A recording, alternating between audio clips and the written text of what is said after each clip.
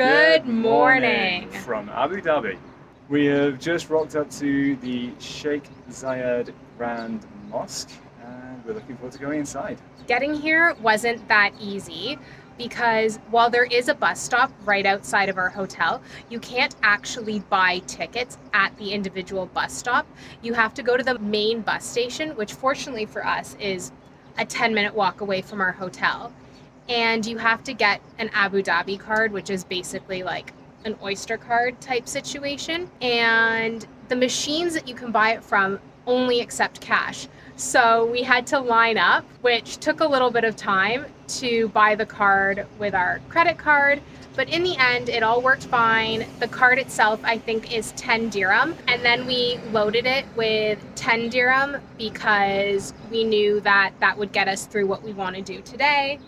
So in total, each card was 20 dirham, which I think works out to 8 Canadian dollars each. So let's go explore.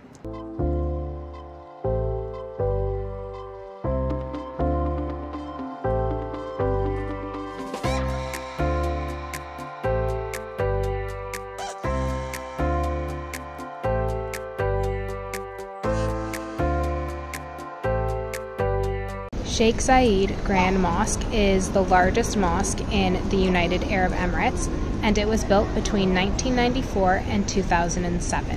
The reason why it's called the Sheikh Zayed Mosque is because it was Sheikh Zayed, who was the president of the UAE at the time, who actually commissioned this project in the first place. However, in 2004, he actually died, and so to commemorate him, he's now buried in the courtyard of the mosque.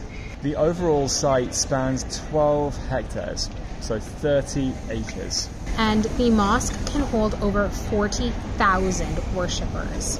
Unlike other mosques, this one holds four minarets, each of which measures 107 meters high. There are seven imported chandeliers that feature millions of Swarovski crystals. Among the other very important and beautiful architectural features, one of the main ones, which is a Guinness World Record holder, is the carpet, which is in the main hall. It measures 5,627 meters squared, so over 60,000 square feet, and was made by around 1,200 to 1,300 carpet knotters. It is so big that the weight of it in total is 35 tons and took two years to complete.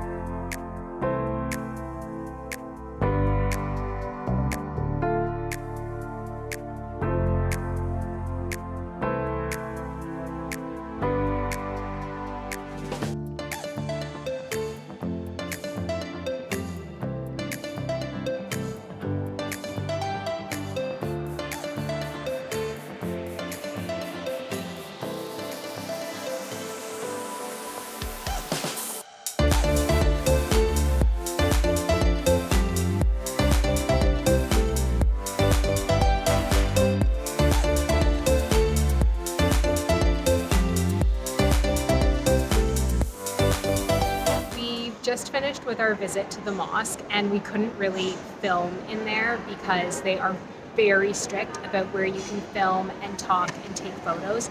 They're also super strict on their dress codes. You have to have your ankles and wrists covered as well as your hair. But other than that, it is one of the most stunning mosques that I have ever seen. I always get this sense of calm and serenity when I go into mosques, and this was no exception.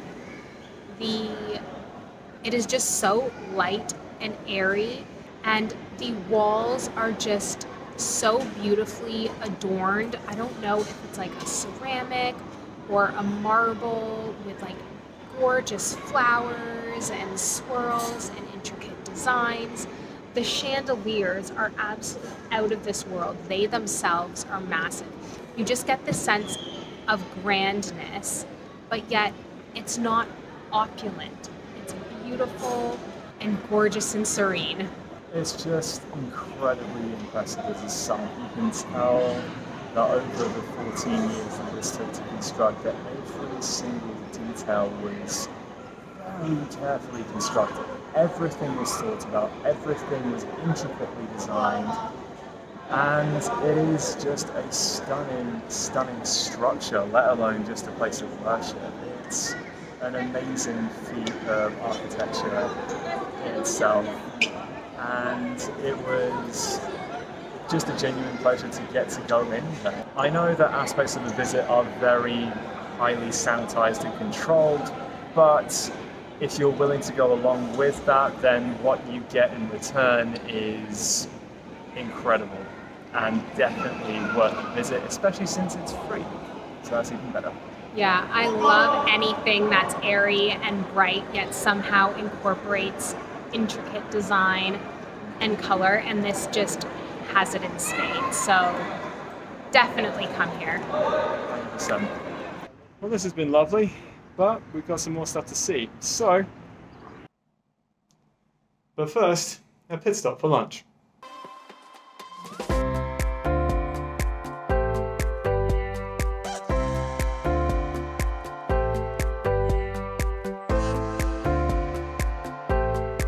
Now that we're all fueled up, we're on to the next place. Welcome to Qasr Al-Watan. This is the Presidential Palace, and it was built between 2010 and 2017, but it was open to the public in 2019. It's a working palace, so no one actually lives here. The president, vice president, and crown prince of Abu Dhabi have offices here, and it's just used for state visits and foreign dignitaries. Let's take a look inside.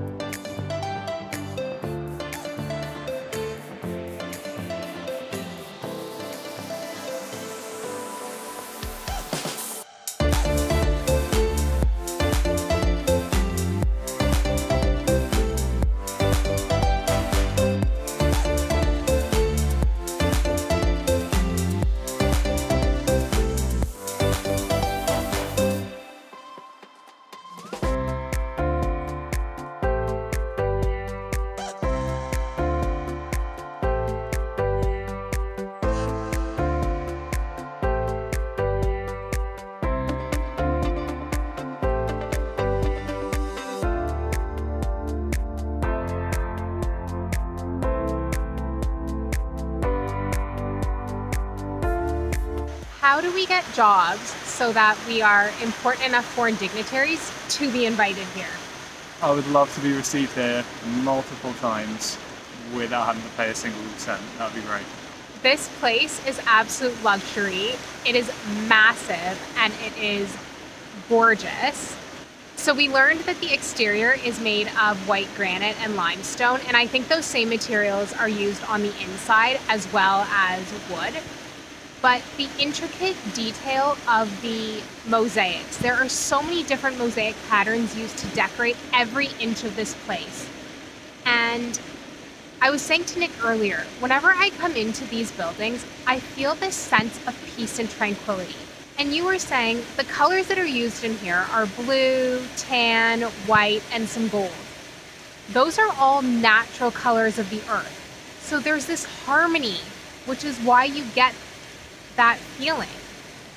And it is opulent, it is grandiose, but not in the same way that cathedrals are. I don't feel serene and calm in cathedrals. In here, that is just the overwhelming feeling I get. And maybe I prefer this because I haven't seen as many mosques or buildings that have this classic Arab architecture to them. And I've just seen too many cathedrals.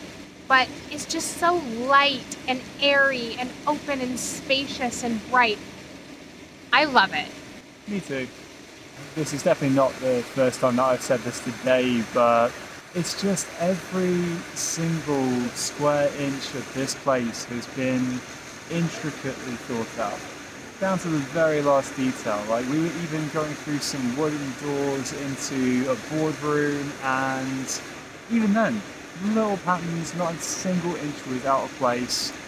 And then with that, then you have had the mosaics, you have the decorations on top of the domes, inside the domes, and everything has just been carefully curated, carefully crafted, and incredibly well thought out. Like definitely coming to this country has given us kind of a completely different view of the Middle East in general. Mm-hmm. Because I think up to now, certainly with the likes of Jordan and Egypt and everywhere else, then that's kind of given us a sense of the history of it mm-hmm. and what it used to look like back in sort of medieval times and so in case of ancient Egypt, like way, way, way before that. But this is really a look at the outlook of modern Arab nations. Mm-hmm. Like this is really a sense of like if each of these countries had the resources to be able to build new buildings, then this is exactly what they would look like. And it's just, it's beautiful really. Yeah, I've really enjoyed my time here in the UAE. Me too. And I would not hesitate to come back. In no. fact, I think we plan on it for sure. Absolutely. Yep. I didn't think I would enjoy it as much because I am so into my history and this has all been modern. But it's just been absolutely beautiful. So I was mistaken. As was I. I've absolutely loved it because it's just felt comfortable. Actually. Yeah. It's felt comfortable and maybe it's just also a nice break from what we have been seeing. Yeah. It's nice to mix it up every once in a while. Absolutely. But no, it's been really, really good. I think that's it for today though. So until the next time, take care. And keep smiling.